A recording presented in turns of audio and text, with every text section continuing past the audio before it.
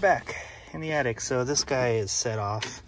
Um, somebody disconnected all the all the condensate, so set off the wet switch. This thing is totally drenched, so I might not be able to reset it. Uh, I gotta make sure that this pump works first. All right, so I've gotten the, uh, the little tank here. So we're gonna just make sure it works. Okay, cool, so pump is functional. So I don't know why this drain was all disconnected. So we need to, it's not gonna let me reset this. It's, it's still wet.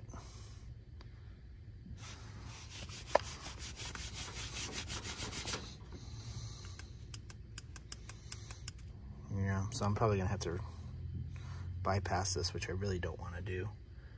Um, but uh, yeah, we'll just bypass it, make sure the system works, and then uh, probably install a new one of these. So here's our wet switch connection. So it's breaking R to the thermostat.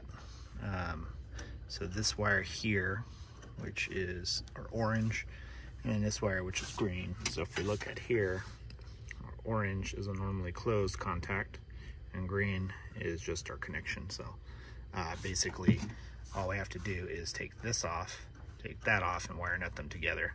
And then uh, I'm gonna go ahead and hook up the pump switch. I don't know why nobody ever hooks up these float switches, it's so annoying. So I'll go get a, a, wire for that. And then I'm just gonna get a new wet switch because um, I just don't think this is gonna be, I'm not gonna be able to reset it anytime soon. So yeah, but we're gonna make sure the unit works before we do all that. Alrighty then, so uh, I've bypassed the wet switch, I took it out of the circuit.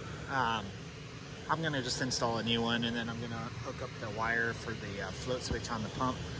But it looks like that's all it was. Unit's working fine. So we're gonna do that while I, uh, we're gonna leave it cooling while I um, go and get the parts I need and the wire. And then uh, we'll be back. But uh, yeah, that was an easy one.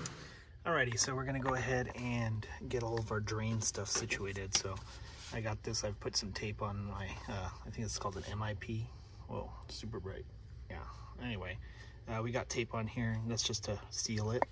We're gonna go ahead and put this into our secondary. Uh, let me do with my screwdriver. Oh, there it is. All right, so that's this guy here. So we're gonna go ahead, we're gonna go ahead and unscrew that. So this should have been done at the day of install. Of course, they chose not to. Okay. We're gonna go ahead and pop that in there. And you pretty much just want to hand tighten these things as much as you can get it. And that should be enough.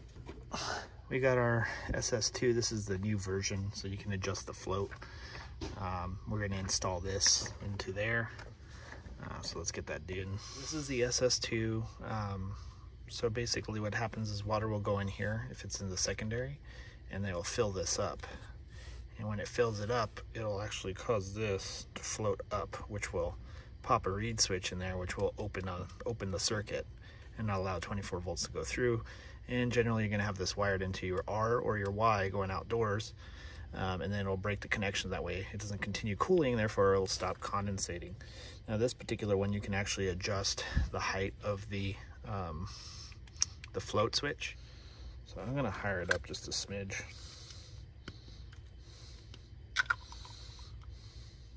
yeah it should be good and then we go ahead and lock it like that there you go let's go ahead and put this on this guy's a little different. It's not just you know, a float switch.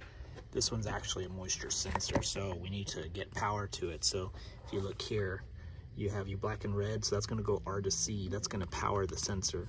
And then you have a normally closed and a normally open switch. So green is pretty much your line in, and then orange or white is your uh, switch.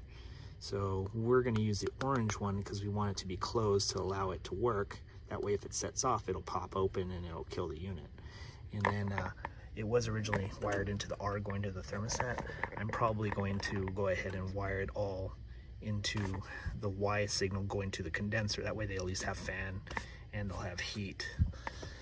Uh, so yeah, that's what I'm gonna do.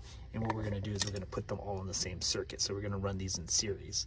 So the drain switch will be in series with the pump switch with the wet switch. So if any of them get set off, it'll cut off cut off the, uh, the unit. Uh, it'll cut off the outdoor unit so it won't keep making water.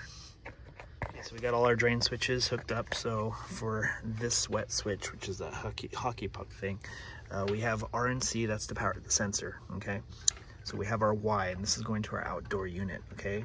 So it goes into this white wire here, okay? The white wire goes up and through, right?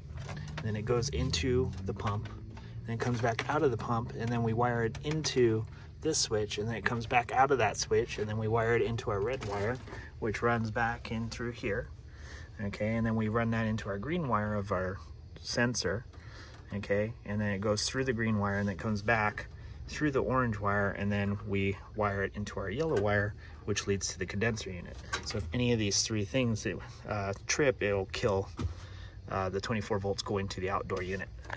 Therefore, it will stop condensating. Uh, but the blower and all that will keep running. So uh, we're gonna go ahead and cap this off because this is an extra one we don't need. And uh, we should go ahead and cycle and make sure everything works. And then uh, I'll put a diagram on how this was wired right now. So that's how it's wired, if that makes more sense, because uh, the wires are kind of all over the place here. So, all right, condenser came on, which means I wired it properly. Uh, yeah, awesome. So that's how you wire up uh, three drain safeties all in series. So hopefully this helps you out. So thanks for watching. Make sure you like and subscribe. Comment. Tell me what a horrible technician I am. Hit that bell notification. Follow me on Instagram and Facebook. Thanks for watching.